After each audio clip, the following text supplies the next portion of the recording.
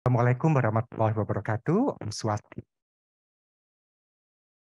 Salam, salam sejahtera untuk kita semua. Yang kami hormati Dirjen Informasi dan Diplomasi Publik sekaligus juru bicara Kementerian Luar Negeri, Bapak Duta Besar Teguh Faizasyah, Dirjen Kerjasama ASEAN, Bapak Duta Besar Sidarto R. Suryo Dipuro, Direktur Perlindungan WNI Bapak Yuda Nugraha yang kali ini bergabung secara daring dan juga sudah bergabung secara daring Direktur HAM dan Kemanusiaan Bapak Ahsanul Habib serta uh, Direktur Sesdilu sekaligus uh, eh, TPPE, Sekretaris TPPE. Ya, uh, senang sekali kita uh, bisa berjumpa pada hari ini dalam press briefing mingguan dan selamat datang juga di uh, di ruang Palapa Kementerian Luar Negeri yang sudah mendapatkan facelift untuk memberikan kenyamanan kepada rekan-rekan media yang mana media juga merupakan salah satu mitra utama Kementerian Luar Negeri. Dan iya, rekan-rekan media press briefing kali ini seperti biasa uh, dilakukan secara hybrid untuk menjawab berbagai pertanyaan dari media terkait polugri dan aktivitas diplomasi. Dan berbagai pertanyaan dari rekan-rekan yang sudah disampaikan uh, sebelumnya akan kami bacakan pada uh, kesempatan pertama pada sesi question and answer. Dan rekan-rekan media seperti biasa press briefing kali ini difasilitasi oleh juru bicara Kementerian Luar Negeri Bapak Duta Besar Teguh Faizasha yang kali ini akan didampingi oleh narasumber lainnya yang sudah saya sebutkan di awal yaitu Dirjen Kerjasama ASEAN, Direktur PWNI, Direktur HAM dan Kemanusiaan serta Direktur Sekdilu. Dan untuk efisiensinya acara ini, mari kita uh, izinkan saya langsung untuk mengundang Bapak Juru Bicara Kementerian Luar Negeri, Bapak Duta Besar Tugu Faizasya untuk memfasilitasi awal press briefing. Kepada Bapak Dubes Faizasya, dipersilahkan. Saya pikir Mas Apung sudah memfasilitasi sebenarnya. Baik, tapi saya hanya mengucapkan selamat datang rekan-rekan sekalian. Assalamualaikum warahmatullahi wabarakatuh. Salam sejahtera untuk kita semua Om Swastiastu, Namo Buddhaya, salam kebajikan. Selamat datang di inaugurasi ruang press briefing yang sudah di refurbish ya, sudah ditata kembali dengan uh, sisipan yang lebih memanjang supaya apa view-nya lebih uh, luas lagi. Dan ini adalah kali pertama kita menggunakan ruangan ini. Memang tidak ada soft launching ataupun uh, peresmian secara khusus, namun anggaplah pertemuan kita pada hari ini sebagai uh, soft launching dari penggunaan ruangan ini yang nantinya ke depannya juga akan digunakan untuk kegiatan press conference Ibu Menteri Luar Negeri. Eh, rekan-rekan uh, sekalian adalah satu kebahagiaan tersendiri pada hari ini Pak Dirjen Arto yang sangat sibuk, yang sangat sulit kita tangkap untuk bisa datang ke ruangan ini. Pada hari ini berhasil kita amankan jadi mudah-mudahan dengan kehadiran Bapak Arto dalam kesempatan press briefing pada hari ini, berbagai pertanyaan rekan-rekan sekalian uh, terkait keketuaan kita di ASEAN melengkapi apa yang sudah disampaikan oleh Ibu Menteri Luar Negeri saat PPTM bisa dilengkapi dari penyampaian oleh Bapak Arto. Oleh karena itu saya langsung saja mengundang Pak Dirjen Arto untuk memberikan beberapa informasi kepada rekan-rekan media sekalian dan selanjutnya nanti kita bisa uh, tindak lanjuti dengan Q&A. Silakan Pak Toh.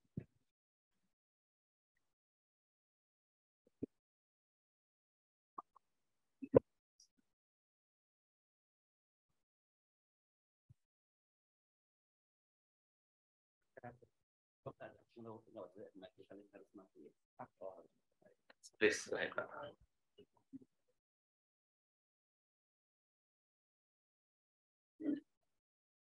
Selamat sore. Selamat sore rekan-rekan semua dari uh, media. Uh, selamat tahun baru uh, untuk semuanya, terutama yang kita baru baru ketemu. Um, semoga tahun 2023 kita akan uh, senantiasa sehat dan semakin sukses. Um, ini sebenarnya di dalam sini nih ada ini monitor ya, uh, tapi belum ada kebetannya. Nanti akan muncul itu uh, itu situ. Kalau nanti ada Zoom akan muncul ya. Oh, I see. Oke. Okay. Uh, oh, right. itu Pak. Wow. there is more than meet the eyes ya. Ya, um, kemarin uh, uh, minggu lalu rekan-rekan uh, semua sudah menyimak uh, pernyataan pers tahunan uh, Ibu Menteri Luar Negeri. Uh, jadi um, saya tidak akan mengulangi apa yang sudah beliau tambahkan. Mungkin hanya menambahkan beberapa um, kita fokus mungkin di di uh, pada sesi Q&A. Tapi saya bisa menyampaikan bahwa rencana pertemuan Menlu ASEAN yang pertama dijadwalkan tanggal 3-4 Februari.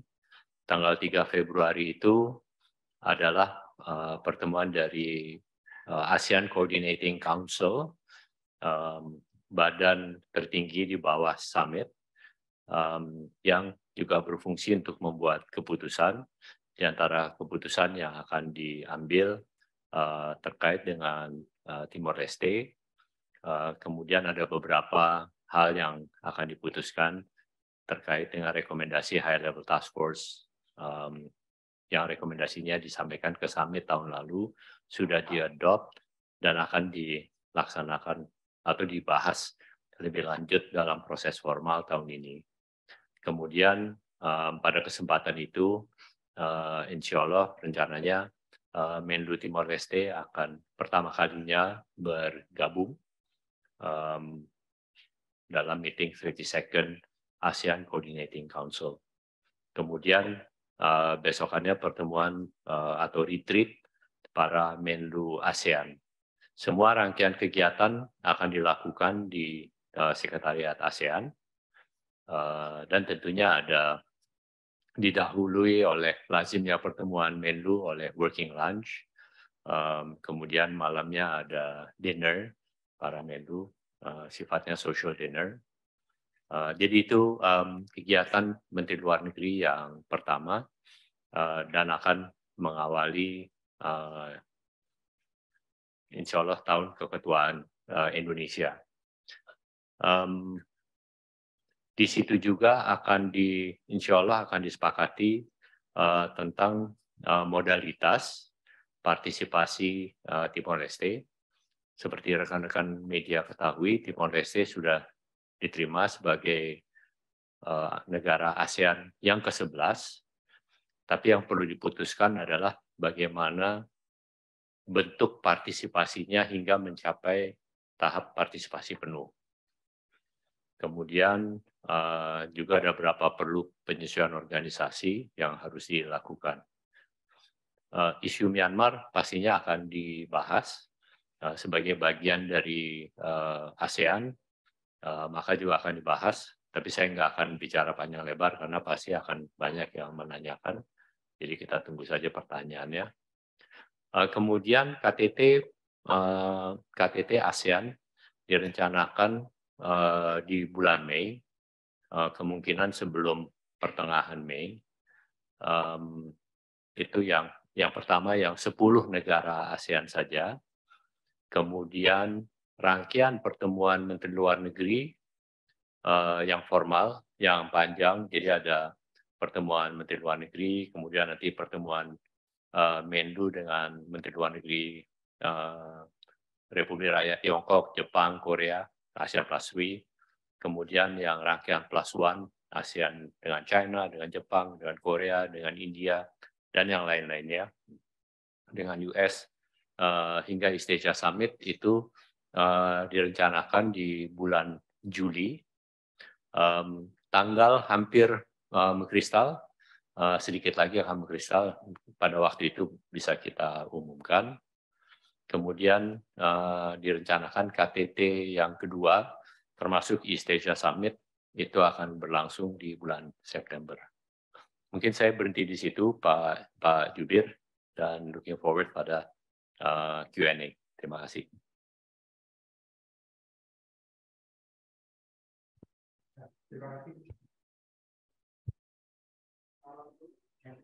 Terima kasih Pak Dirjen. Selanjutnya saya mengundang Direktur Pelindungan WNI Bapak Yuda Nugraha untuk memaparkan berbagai hal yang ditangani ya kepada Bapak Yuda Nugraha yang akan berpartisipasi secara daring dipersilahkan. Siap, uh, terima kasih Mas Apung yang kami hormati Pak Dirjen IDP, Pak Dirjen ASEAN. Uh, izin Mas Apung, untuk saat ini kami tidak ada briefing khusus terkait dengan penanganan kasus, namun kami standby jika ada pertanyaan dari teman-teman.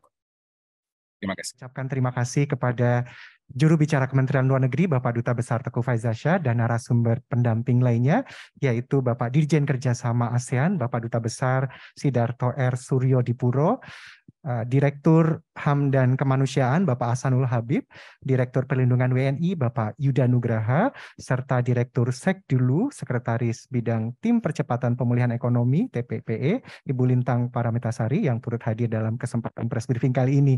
Terima kasih juga saya ucapkan kepada rekan-rekan media yang telah hadir pada press briefing hari ini. Terima kasih juga atas bantuannya, eh, bantuan rekan-rekan semua yang telah menyampaikan Eh, kepada masyarakat berbagai pemberitaan positif dan berimbang serta menyejukkan terkait polugri dan aktivitas diplomasi Indonesia.